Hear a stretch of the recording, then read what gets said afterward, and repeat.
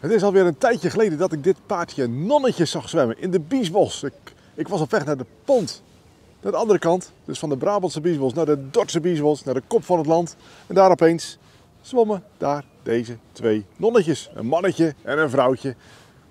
Nou ja, het verschil is duidelijk. Het mannetje is prachtig wit met die, met die mooie, fijne zwarte lijnen en dat zwarte masker op zijn kop.